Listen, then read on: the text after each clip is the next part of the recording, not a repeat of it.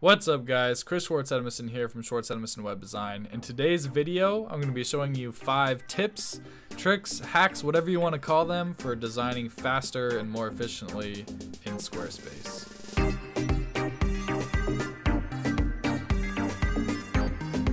Tip number one is you can, if you click on the navigation panel window and then click slash forward slash on your keyboard, you can search for any navigation panel on your site. So CSS, custom CSS, takes you right to the custom CSS window. Now this is especially helpful for those really deep navigation uh, windows like the custom code injection for example. Instead of having to go to settings, advanced, code injection takes a really long time. Instead what you can do is from the home panel, just click on the navigation, click forward slash, and then code injection, hit enter, takes you right to code injection. So that's an awesome tool. I'm going to be using this all the time now. Instead of manually clicking back and forth, forward slash, go wherever you want to go.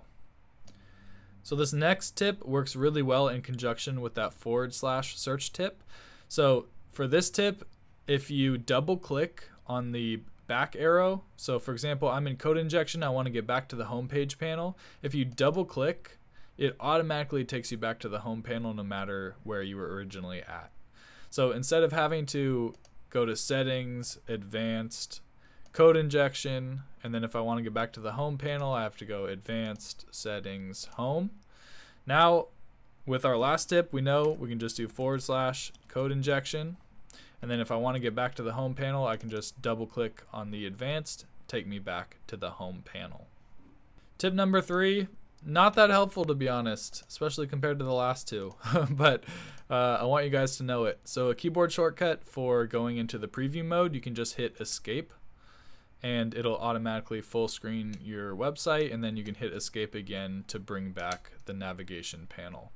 So instead of having to move your hand, put the mouse all the way up in the top left hand corner. This saves you precious milliseconds to jump into preview mode. So again, that is the escape key. Tip number four, uh, let's go to our custom CSS window. And let's say we have a bunch of CSS in here and when you're writing CSS, you're not going to be perfect with your indents all the time. Uh, it's just not going to happen. So the way to pretty up your CSS that you've written is whatever you want to pretty up, you can just select and then hit shift and then tab and it'll automatically perfectly align your CSS how it should be indented and how it should look. So that's a really handy tool. Um, you can just highlight whatever you want to, shift and then tab. Another shortcut is to highlight everything in the CSS panel you can hit Control and then A if you're on Windows, or Command and A if you're on a Mac, and then hit Shift Tab, and it'll automatically um, align everything properly that's in your CSS window. And finally, tip number five is a CSS tip.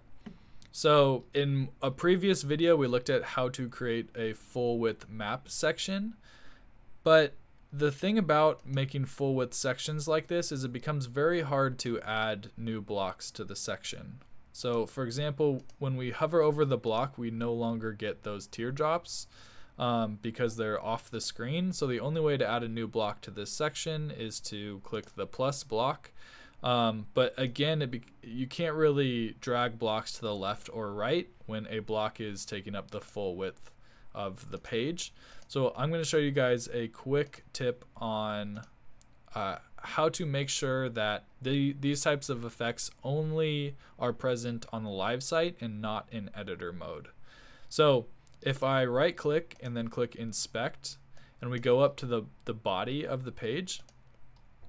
So here we have the body and there's all these different classes that are on the body. And one of the classes that gets added uh, is .sqs edit mode.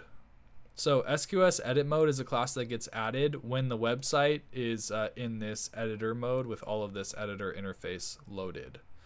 So the way uh, a tip that we can use to make sure that this uh, CSS only applies when the website is not in editor mode is by excluding uh, the CSS when that class is present. So I'll show you guys what I mean. So here is the CSS that makes this map block go full width.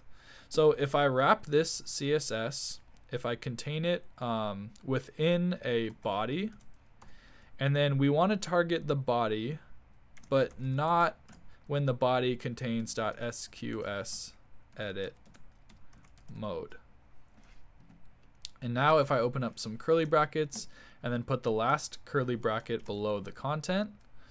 So now this CSS styling will not apply when uh, the body has a class of .sqs edit mode. So if I save that, it's now very easy to add new blocks to this section because it's just like a regular index page now. Um, but if we go to the full width when the site is no longer in edit mode and when this site is live on the internet, uh, we get this full width effect. So this is a good way to, if you have some like complex styling that you don't necessarily want to appear in the editor mode, but that you want to have that effect when it's live, you can wrap whatever CSS that is in this body not.sqs edit mode, and then it will only apply to the live site. So those are my five tips for designing faster and more efficiently in Squarespace. If you enjoyed these tips and you want to further your knowledge of Squarespace and learn how to create even more uh, complex layouts and custom layouts, go ahead and check out my custom layouts in Squarespace course. I cover some really cool custom layouts that can be accomplished in Squarespace uh, with custom CSS. We go over some really cool things. So if you're interested in raising your prices as a Squarespace web designer, charging more for your services by delivering even more custom Squarespace websites with custom layouts, then go ahead and check out that course. Link will be in the description below. All right, that is it for this video, guys. Thank you so much. I will see you in the next one.